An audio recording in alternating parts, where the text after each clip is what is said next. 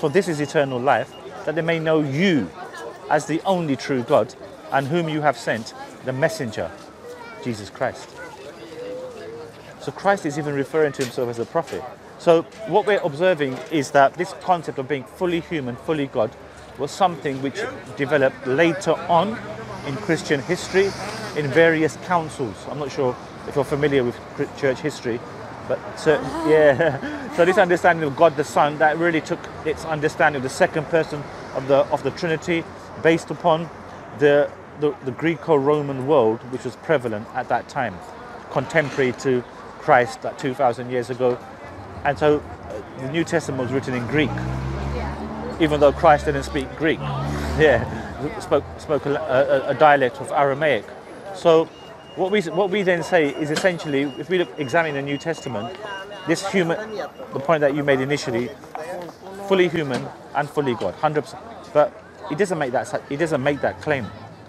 So it was a way of philosophers later contemplating who could Christ possibly be. So due to the Hellenistic Greco influence that incorporated itself within the writings of the New Testament, and they then you know, made this philosophical understanding based upon this particular chap called um, Plotinus, a very famous philosopher and, um, and theologian, who tried to reason like and, and understand that a, there is God, there's the universe, there's, and there is his intellect. So this formula, this Greco-Roman formulation, then formalized itself within this Trinity, God the Father, God the Son, and God the Holy Spirit, and this then incorporated itself within later Christian belief due to the influence of the Greco-Roman world. Because when Christ came, he came amongst the, the Jews, who were essentially monotheists, but the, the prevailing, those who were in prevailing positions of dominance at the time were the, were the Romans and the Greeks, and their concept of divinity would entail creation. So a human being would be referred to as a, as a, as a god, like probably read about Augustus Caesar or those emperors who would be given such honorific titles. So it's as a consequence of that that these later eulogies, eulogy means like like an enhancement on Christ's character become personified. But for example, I've given you those verses from within the New Testament in which he highlights who, who God is, one supreme being. We as Muslims, this is what we believe.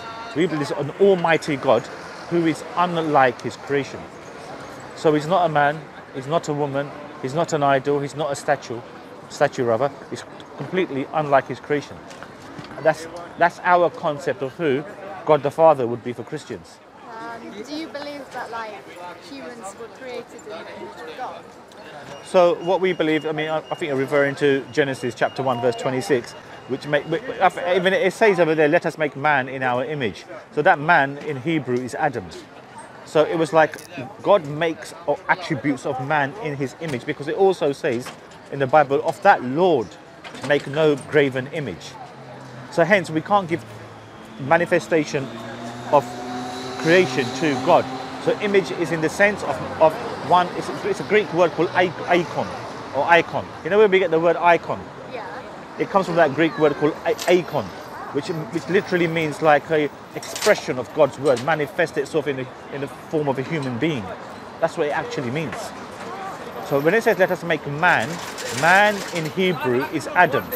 So Adam, what it's actually saying, Adam was made in the image of God, but you don't believe, of course, that Adam is literally God. And I think it's mentioned in, in Ephesians and in Colossians as well, that um, the Christians, I think it's Ephesians chapter 3, verse 19, if I'm not mistaken, which says that even Christians are in the image of God. But that doesn't make them God. It just literally means that God's representation is exalted within those human beings who God has guided. What do you think? Yeah. So the Islamic personification it makes it's much more sensible in the sense that a creator doesn't have to be like his creation. If you think about the universe, for example, you're already a Christian, so you already believe in God. But commonly, when we speak to atheists and we ask them to reflect upon the possibility of a creator, you know, a universe from nothing doesn't make sense. Um, did the universe create itself? That wouldn't make sense. There had to be something right from the off which is metaphysical beyond the universe. So the Islamic perspective is that creator is beyond the universe. As myself and, uh, and you speak, if I put my hands out this way, what have we got? We've got in between us, we've got time, matter, space, energy, all the uh, um, elements as a result of the creation of the universe. But what was there before that is incomprehensible. But what we do know is that it was comprehensible in the sense that someone created it. Yeah. Something has created it, you see.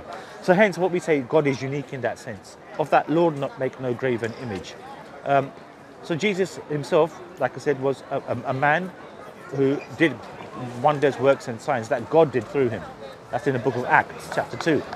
So God then chooses select individuals as his particular representatives who do his work. So it becomes incumbent upon us then to follow that individual because that's the way to attain closeness to God. So, for example, where Christ says, like in John 14 6, I am the way, the truth, and the life. No man come through the Father but through me. What he's saying, you, you have to follow him Yeah. in order to reach the destination. Because he's not claiming to be the destination, rather the way to the destination of one who needs to get close to God. Make sense? Yeah. Another one I can show to you. I'm, I'm, I'm really just showing you these verses because you come from a Christian background. Like there's a very powerful verse in Matthew chapter 9, verse 3 and 4 from the contemporary English version, where the Jews observe that Christ forgives the sins of a paralytic man.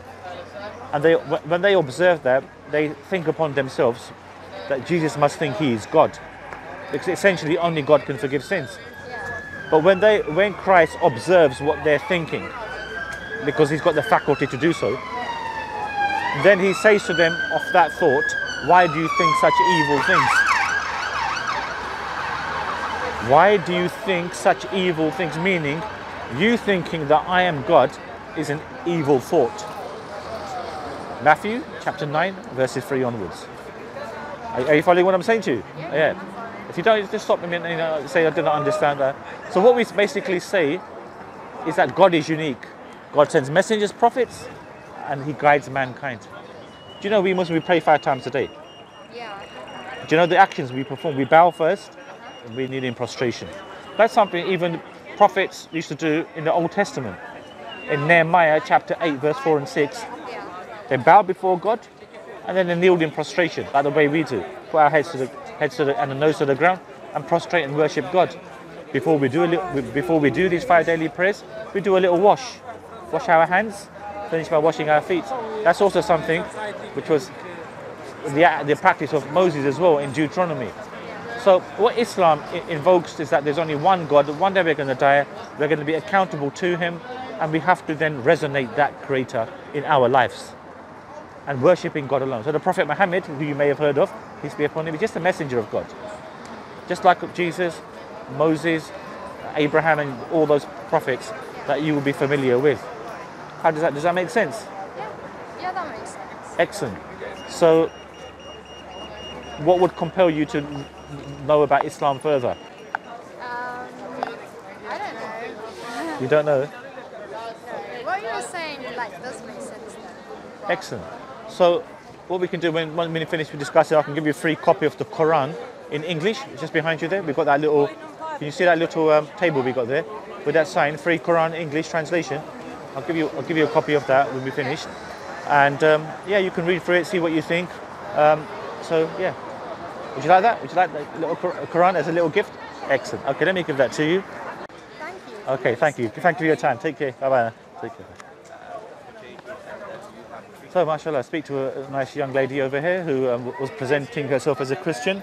So, we do what we usually do we speak, we reason with them, we re- make reference to their scriptures, we make reference to the Islamic perspective, and we don't want to inundate them with information either.